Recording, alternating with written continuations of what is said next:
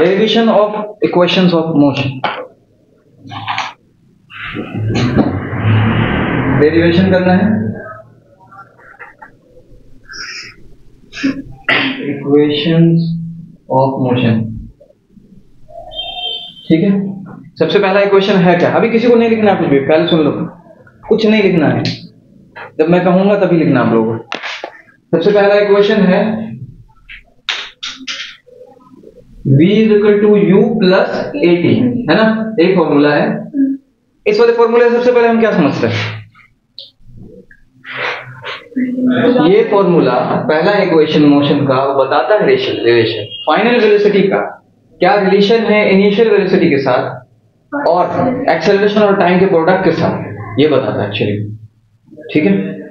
बात समझ में आ गई क्लियर कोई दिक्कत नहीं है ना? तो सबसे पहले असल में ये इक्वेशन का जो डेरिवेशन होता है, उसका ग्राफिकल रिप्रेजेंटेशन जो हमने देखा था यार, वहाँ से ये फॉर्मूला डिराइव होता है, वहाँ से निकल के आता है। तो आप लोगों ने याद होगा कि इस तरह से हम ग्राफ दिखाते थे। एक लाइन हमने दिखा दिया, एक तरफ़ टाइम दिखा दिया, और दूसरी तरफ़ वेलोसिटी दिखा दी। और कहा भी था कि मान लो कि ये इनिशियल पोजीशन है ज़ीरो और ये इनिशियल वेलोसिटी है और यहाँ फाइनल वेलोसिटी है। कोई ऑब्जेक्ट यहाँ से चलना शुरू किया। यहाँ तक गया। ठीक है? कुछ नहीं करना है। यहाँ पे बस नेमिंग कर देनी है थोड़ी सी, थोड़ी बहुत नेमिंग ज़रूरी भी है। मान लीजिए कि मैंने इसका नाम ए डाल दिया इस वाले पोजीशन पे इसका नाम बी डाल दिया इसका नाम सी डाल दो और इसका नाम डी डाल दो। कोई ज़रूरी नहीं है ऐसे कोई नेमिंग में कुछ भी हो सकता है। सबसे पहले एक बात बताओ कि वेलोसिटी टाइम ग्राफ देता क्या है? एक्सेलरेशन कैसे पता चला कि वेलोसिटी टाइम ग्राफ एक्सेलरेशन देता है? देखो जब भी हम ग्राफ पे पुट करते हैं ना किसी भी चीज़ को माने इधर अगर टाइम है और इधर वेलोसिटी है इसका मतलब ये होता है जैसे ये वाली साइड जो होगी इधर दी गई क्या? वेलोसिटी दी गई और ये वाली साइड में क्या दी गई टाइम यानी v अपॉन t यानी ग्राफ का मतलब ये होता है कि एक दूसरे से डिविजिबल है एक दूसरे का रेशियो है। तो वेलोसिटी की जगह पर हम लिखते हैं मीटर पर सेकंड और टाइम की जगह पर सिर्फ़ सेकंड लेकिन इसके नीचे कुछ नहीं है तो वन छिपा हुआ है। इसको अगर हम रेसिप्रोकल करेंगे तो मीटर पर second into one by second लिख सकते हैं यानी कि मीटर पर सेकंड स्क्वायर तो मीटर पर सेकंड स्क्वायर होता किसका है? एक्सेलरेशन का। इससे ये पता चला कि हमें असल में एक्सेलरेशन देगा ये वेलोसिटी टाइम तरफ़ क्या देगा? एक्सेलरेशन देगा। लेकिन बाय डेफिनेशन एक्सेलरेशन बराबर क्या होता है? Rate of change of velocity या final velocity minus divided by तो final velocity minus initial velocity velocity sorry और बराबर टाइम बताओ तो यहाँ पे फाइनल वेलोसिटी को कौन डिनोट कर रहा है? ज़ीरो से v तक। ये जो पोजीशन है यही बता रहा ना फाइनल वेलोसिटी और यहाँ से लेकर के यहाँ तक यही दिखा रहा है इनिशियल वेलोसिटी तो देखो यहाँ से लेकर यहाँ तक इनिशियल वेलोसिटी क्या है? डीसी या सीडी दिख आपको सारे।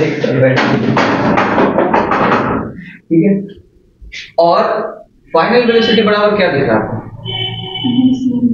डीसी तो हम यहाँ पे ऐसे लिख सकते हैं कि एक्सेलरेशन बराबर, इस सूरत में एक्सेलरेशन बराबर BC minus BC minus DC और टाइम की जगह पे हम लिख सकते हैं ओसी तो ध्यान देने वाली बात यह है कि यहाँ पर हम बीसी की जगह पे डायरेक्टली वी भी पुट कर सकते हैं है ना? मैंने वी पुट कर दिया।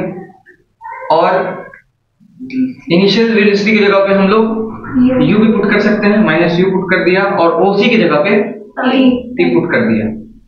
तो ओवरऑल हमारा फॉर्मूला क्या बन के आता है? जब ये फॉर्मूला हमारे पास बन गया है A equal to V minus U by T अगर हम इसी को उलट फेर करें थोड़ा हम तो जानते हैं कि वेलोसिटी टाइम ग्राफ हमें यही देता है। एक्सेलरेशन देगा। लेकिन हमारा जो फॉर्मूला हमें तो इस टर्म में लाना है ना तो क्या हम इस फॉर्मूला को इस टर्म में कन्वर्ट कर सकते हैं? देखो। ए इंटू टी बराबर वी माइनस यू लिख सकते हैं? Yes. तो v इज़ इक्वल क्या लिख सकते हैं? U प्लस ए टी लिख सकते हैं? Yes. यही आपका पहला इक्वेशन है जो कि डिराइव करके निकला है यहाँ से। पहले, पहला स्टेज इसका ये होगा और दूसरा जो फाइनल स्टेज है, जब हम उसको अलट पलट करके इधर उधर फॉर्मूला घुमाते हैं, तब जाकर के ये आता है। लेकिन एक बात और भी ध्यान रखो, यहाँ से हम टाइम भी कैलकुलेट कर सकते हैं। डायरेक्टली यहाँ से अगर निकालना चाहो इसको, क्योंकि मैंने इसलिए कहा, ये तो हो गया पहला इक्वेशन इसे नोट कर लेना है और ये जो पॉइंट है ना, यहाँ से हमें निकल जाएगा। देखो टी को इधर लाओ और एक्सेलरेशन को नीचे ले आओ। तो एक्सेलरेशन टी बराबर क्या होगा? B minus U by A है ना? तो accelerate sorry T is equal to B minus U by A ये हो गया आपका टाइम का फॉर्मूला टाइम निकालने के लिए, ठीक है? इस फॉर्मूले का इस्तेमाल हम कहीं पे करेंगे? इस वाले फॉर्मूले का इस्तेमाल हम लोग कहीं पे करेंगे, इसलिए इसे लिखा है जानबूझ करके कहाँ इस्तेमाल होगा? वो हम लोग बाद में देखेंगे। फ़िलहाल के लिए यहाँ पे इस वाले इक्वेशन में कहीं पे कोई दिक्कत आपको. नहीं, है ना? सही बात है। असल में मेरा कहने का मतलब यही था आपसे कि आपने किस बेस पे किया? हमने तो सिर्फ़ यहाँ पे माना इनिशियल वेलोसिटी फाइनल वेलोसिटी ये तो डिफाइन नहीं किया कि ये फॉर्मूला यही बन के आएगा। हमने कहा, चलो ऑब्जेक्ट का कोई इनिशियल पोजीशन रहा होगा। लेकिन इसकी जो वेलोसिटी इनिशियल वेलोसिटी हम मानेंगे यहाँ से फाइनल यहाँ से, और टाइम यहाँ तक। एक ग्राफिकल रिप्रेजेंटेशन बस दिखाया है। किसका किसका? टाइम का इनिशियल वेलोसिटी का वेलोसिटी का और पोजिशन का। हमने एक रिलेशन बताया है कि क्या है, बस इस ग्राफ के थ्रू इससे हमने फॉर्मूला पहला वाला, पहला इक्वेशन मोशन का डिराइव किया है, जिसमें हमें वेलोसिटी की वैल्यू मिलती है। अब हम चाहे यहाँ से यू नहीं निकाल सकते हैं क्या? इनिशियल वेलोसिटी भी निकाल सकते हैं एक्सेलरेशन भी निकाल सकते हैं टाइम भी निकाल सकते हैं, और फाइनल वेलोसिटी भी यहीं से निकाल सकते हैं। तो हम क्या करते हैं, इस वाले फॉर्मूले में सिर्फ़ फाइनल वेलोसिटी दिखा देते हैं। टाइम का इक्वेशन छोड़ देते हैं। टाइम का इक्वेशन भी यहीं से निकलता है। इनिशियल वेलोसिटी का इक्वेशन भी यहीं से निकल सकता है। है ना? और एक्सेलरेशन तो है ही। तो ये हम बाय डेफिनेशन न्यूटन न्यूटन के किस वाले लॉ से जानते हैं ये? एक्सेलरेशन बराबर initial velocity final velocity minus initial velocity ये कहाँ से हम जानते हैं?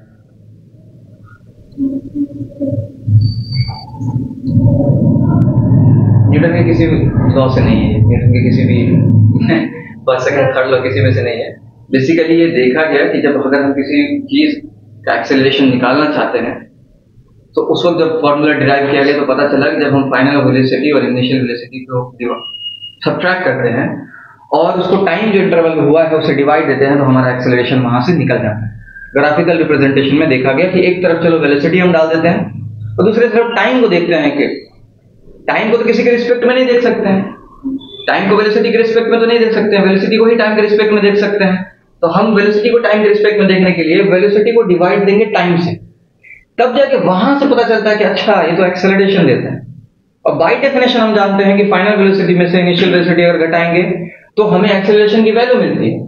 तो फाइनल वेलोसिटी थी हमारी बी सी इनिशियल वेलोसिटी थी हमारी डी सी तो फाइनल में से इनिशियल घटाया तो बचा बी डी है ना, ये भी पुट कर सकते थे बी डी ओपन ओसी भी लिख सकते थे।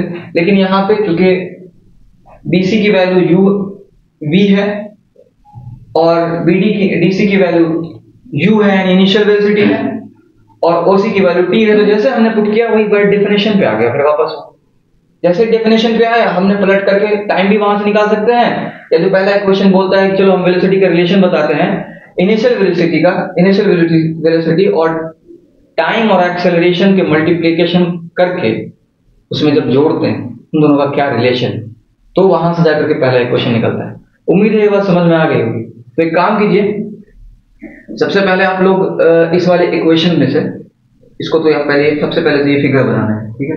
और इस फिगर में भी एक बार ध्यान रखिएगा कि ये सब डॉटेड डॉटेड है, कोई परमानेंट लाइन नहीं है, ठीक है? बस डॉटेड डॉटेड लाइन से चाहे तो बना भी सकते हैं, जैसे चाहे बनाए। उसके बाद हम लोग सेकेंड इक्वेशन में आएँगे। सेकेंड इक्वेशन में देखेंगे कि पहले वाले इक्वेशन में से कुछ अप्लाई किया जा सकता है कि नहीं। फिर थर्ड इक्वेशन में जाएँगे तो वहाँ भी चेक करेंगे कि पहले और सेकेंड वाले इक्वेशन में से कुछ डाला जा सकता है।